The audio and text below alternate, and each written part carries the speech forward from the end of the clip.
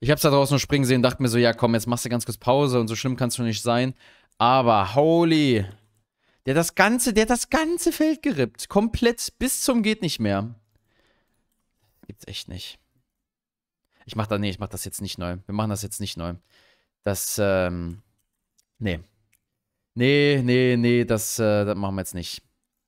Äh, so, ich mache noch eine Schaufel. Wir machen noch eine dritte Schaufel. Das gibt's gar nicht. Wie kann man denn so, also... Ich habe es euch in der letzten Aufnahme, habe ich es gesagt, oder in den Aufnahmen auch davor, dass mich das einfach, dass mich das wirklich Jahre meines Lebens kosten wird. Und ich wusste es einfach. Und jetzt kommt das, jetzt kommen hier diese Hühner an und sorgen genau dafür. Die sorgen wirklich genau dafür. Ich krieg echt, also, da krieg ich so einen Hals. Da krieg ich so einen Hals. So, können wir Bricks bauen? Ne, können wir nicht. Können wir noch nicht. Irgendwann wird es kommen. Jetzt haben wir auf jeden Fall Cleanstone noch. Dass irgendwo noch da reinkommt. Und wir können mal ganz kurz einmal Leitern bauen. Können wir denn... Also, ich weiß nicht, ob wir Leitern bauen können. Deswegen die Frage... Oh, wir können... Eine Leiter! Gut, wir können Trick 17 hier noch nutzen. Das ist das Gute an der Sache. Wir können es jetzt quasi runterbauen und können einfach hier keine Leiter hinpacken. Das wäre ja auch einfach viel zu gut. So, aber jetzt zack. So, und jetzt dürfen wir hier ranspringen können. Genau. Das ist Trick 17 und das funktioniert auch sehr gut. Wir machen das dann auch nur drei hoch hier. Die Frage ist allerdings, machen wir das... Ich überlege gerade, ob wir es quasi größer machen als das Haus. Dann würde ich noch einen runtergehen, damit wir noch eine Decke reinziehen können. Ich glaube, das wäre noch ganz sinnvoll. Ich habe übrigens auch, ähm, ich glaube, ich habe es noch gar nicht erzählt, ich habe mich wieder daran probiert, Texture Packs zu installieren. Allerdings, ich habe auch was gefunden, was auch angeblich kompatibel sein soll mit dieser Version. Allerdings ist das Problem, dass, ähm, wenn ich mit dem neuen Launcher halt Minecraft starte, dann, ähm, aktualisiert er immer die JAR-Datei. Und wir haben ja hier in dieser Version noch nicht die Möglichkeit, Texturen so zu installieren. Das bedeutet, ich muss die halt in diese JAR-Datei reinpacken. Und da, wie schon gesagt, ist das Problem, dass da leider der Minecraft-Launcher jedes Mal diese Datei ersetzt. Das heißt, ich, die Sachen sind dann immer wieder auf Null zurückgesetzt. Da müssen wir warten bis zur übernächsten Version, glaube ich. Ähm, ich kann noch mal ein bisschen rumprobieren. Ich habe auf jeden Fall schon kompatible Texturen gefunden. Kompat komplat Reden können ist auch heutzutage einfach eine Kunst. Ich habe auf, auf jeden Fall kompatible Texturen gefunden, Texturenpacks gefunden. Jetzt muss ich nur gucken, dass ich die dann halt... Ah, hier sind wir noch nicht. Da, da. Ich mache erstmal Hausgröße. Äh, müssen wir halt nur gucken, dass ich die dann auch zum Laufen kriege. Auf jeden Fall dann ab der Version 1.2.2 haben wir dann auf jeden Fall Texturen. Ähm, da habe ich auch zwei Texturenpacks, die anscheinend funktionieren. Da schauen wir dann mal, welche von beiden wir dann, dann nehmen. Jetzt können wir dann ja auch spontan entscheiden. So, weil ich gerade auch sehe, dass wir Holz brauchen für die ganzen Kisten. Ich weiß noch nicht, wo wir, wo wir hier... Oh, stimmt, wir haben hier gar nicht so breit gemacht.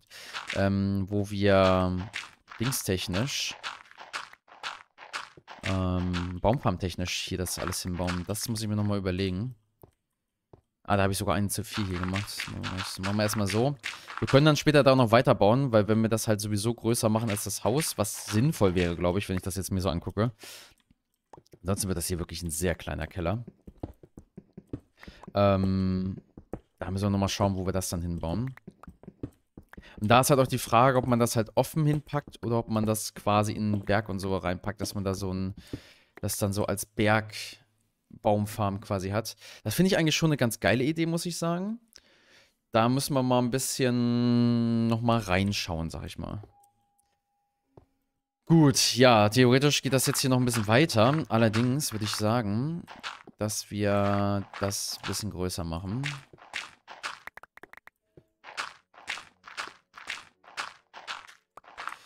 Weil das ist schon doch ein relativ kleiner Killer. Dann können wir das auch noch dann später noch ein bisschen schöner aufbauen, wenn wir dann noch ein bisschen mehr Platz hier haben.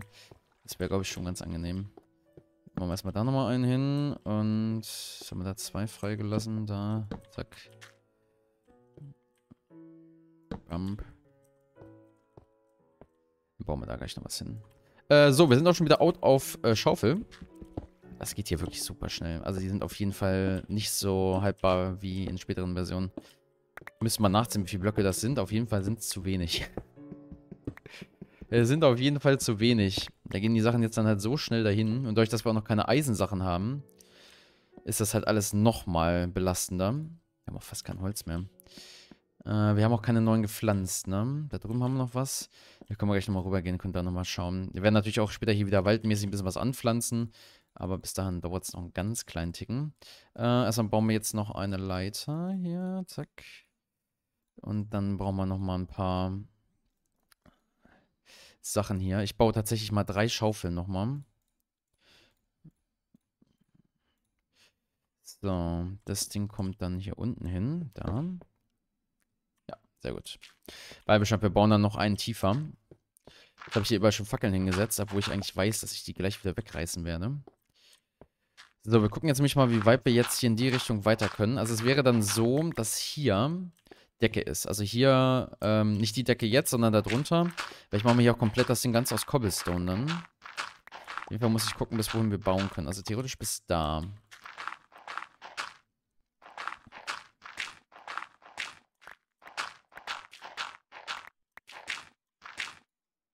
Gucken wir mal, wie groß das jetzt dann letztendlich ist. Ja, das ist schon eine gute Größe dann. Also hier kann dann schon ein paar Truhen dann rein, da können wir dann schon mit arbeiten. Können wir dann schon mit arbeiten.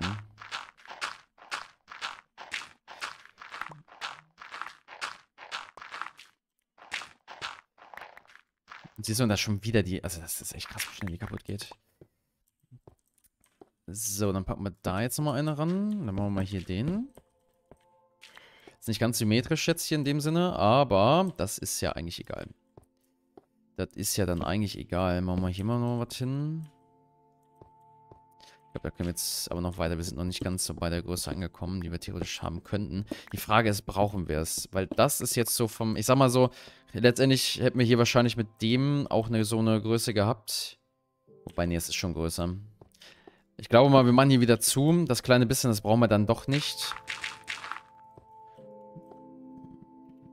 Ähm, ich werde übrigens noch Musik, also ich werde die Minecraft-Musik erstmal anlassen. Das scheint so doch so zu sein, dass hier die Sachen doch ein bisschen mehr Zeit ähm, brauchen, bis sie dann wieder auftauchen. Mal da eins hin und da nochmal.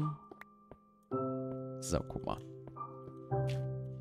Das ist doch was. Dann können wir den auch dahin packen. Dann ist das zwar nicht genau an der Leiter, aber das passt dann so schon. So, die Wände machen wir dann logischerweise hier aus Kobbel, hätte ich gesagt. Und dann gucken wir nochmal, dass wir hier noch ein bisschen mit Holz arbeiten. Die Sache ist, so könnte das, glaube ich, passen. Wenn ich jetzt sage, ich mache jetzt da Holz rein. Wir machen noch ein Dreier, da Holz rein und da Holz rein. Das kann man auf jeden Fall machen. Da dann... Dann müsste man das ein bisschen... Ah, das kriegt man aber schon hin. Das kriegen wir schon hin, so. Zack. Zack. Okay. Ja, ich habe da so eine Idee, wie wir das mit ein bisschen noch hier noch verschönern können, dass das noch nach was ordentlichem aussieht, sag ich mal. Da müssen wir auf jeden Fall erstmal das erstmal ausgraben.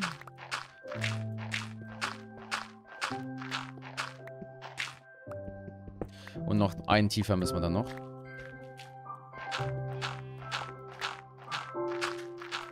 So, dann müssen wir gleich mal gucken mit dem Layout, wie wir das dann mit den Truhen dann machen, dass sie hier ordentlich drin stehen. Aber ich glaube, das dürfte auch ganz gut aufgehen.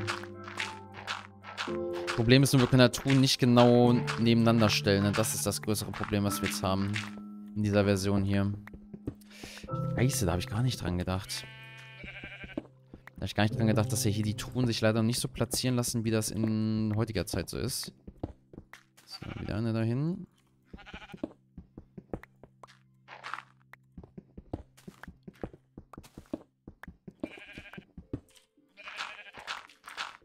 So. Und da ist auch schon Bedingung. Das gibt's ja gar nicht. Das gibt's ja gar nicht. Doch, bei Roller. Mhm.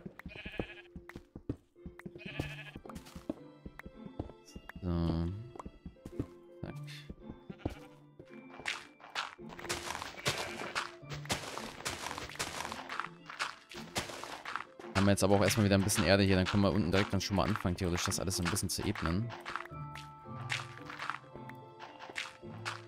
Weil da haben wir jetzt dann wirklich viel Erde. Und so ein paar Stacks. Damit können wir sehr gut arbeiten. Wir müssen ja hier den Boden auch noch dann auch nochmal rausreißen. Das, wo ich jetzt hier gerade baue, also das, was ich jetzt hier gerade wegbaue, das ist ja nicht der Boden. Also wir müssen ja noch einen tiefer, um da dann quasi auch noch auszubauen.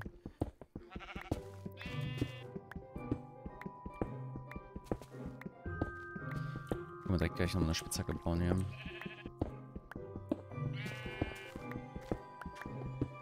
So. Oh, ich habe auch was zu erzählen hier. Ähm, ich war jetzt, ähm...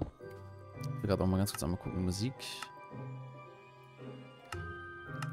Ich weiß es nicht viel, aber das eine Prozent, das macht am Ende was aus. Ähm, ich war jetzt gestern mit einem äh, Kollegen im äh, Gym gewesen. Das ist das erste Mal tatsächlich für mich, dass ich innerhalb von drei Tagen zweimal im Gym war, seit ultra langer Zeit. Seit super langer Zeit. Und ähm, wir haben halt gestern Pull Day gemacht und wir hatten vorgestern, äh, vorvorgestern hatten wir... Oh, funktioniert das jetzt eigentlich noch? Oh, tatsächlich. Ähm, und davor hatten wir äh, Leg Day gehabt. Ich war jetzt gerade hier nur am gucken, wie wir das jetzt logistisch hier am besten anstellen. Äh, weil wir brauchen ja Holz für die nächste, für Truhen auch noch. Zumindest eine, dass wir da die Baumaterialien nochmal reinpacken können hier. Das wollen wir zumindest einmal machen. Weil die kann ich da jetzt nämlich nicht neben platzieren, sondern nur da. Da packen wir jetzt hier mal eine ganze Kladderadatsch rein. Auf jeden Fall war es dann jetzt halt so, dass ich mir jetzt dann äh, gedacht habe, ja, okay, komm, machen wir einfach mal. Let's do this. So schlimm kann es schon nicht werden. Ich war halt super lange nicht so regelmäßig im Gym und das habe ich dann auch direkt erfahren müssen, dass das, äh, ja, nicht so geil ist. Nehmen wir mal das mal, dass wir das hier hinten umlegen. Weil, ähm, ja, ich sag's mal so, ich bin heute Morgen aufgestanden und dachte mir so, what the fuck is going on? Weil mein, ich kann meinen, also meinen rechten Arm kann ich komplett ausstrecken, aber ich merke, dass ich echt Muskelkater habe. Meinen linken Arm kann ich nicht komplett ausstrecken. Also ich würde mal sagen, da sind noch so 45 Grad sind da noch übrig, die ich da noch weiter strecken müsste, um ganz auszustrecken. Aber es geht einfach nicht. Der blockiert da und es tut so unfassbar weh. Also das habe ich so in der Art noch nie gehabt. Und das ist ganz, ganz, ganz, ganz belastend, weil ich, du willst halt irgendwie was machen jetzt hier heute im Sinne von äh, Essen und schlammig und so. Und du kannst es nicht ordentlich machen, weil es so unfassbar weh tut. Also das ist wirklich, also ich wünsche das keinem und macht es nicht, tut es einfach nicht. Es tut wirklich einfach nur unfassbar weh. Es ist ganz schlimm. Es ist ganz, ganz schlimm. Das können wir auch noch rüberpacken.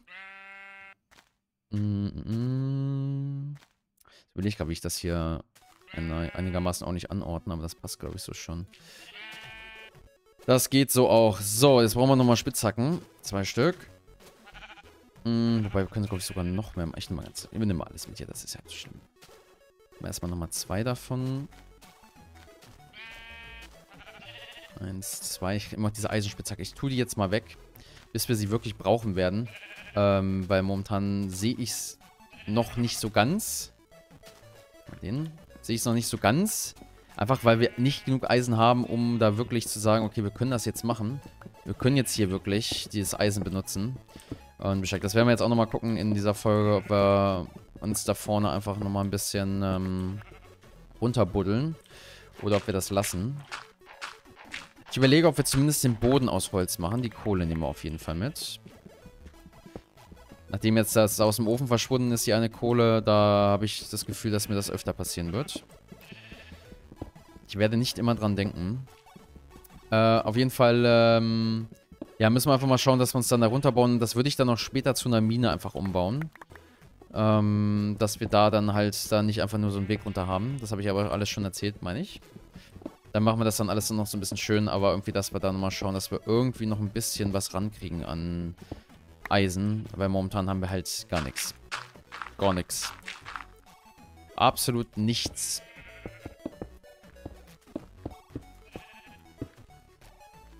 Mit den sechs Stück, da kommen wir jetzt halt noch theoretisch zwei Eisenspitzhacken machen. Das war's dann aber auch schon. Also das ist ja wirklich, also...